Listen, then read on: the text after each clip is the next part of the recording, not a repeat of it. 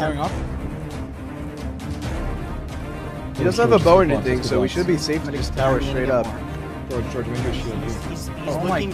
gosh. Adrian. Oh, here. If I did any iron. Here, George, take this. Yeah, yeah, yeah. Try and make some armor. Thank you.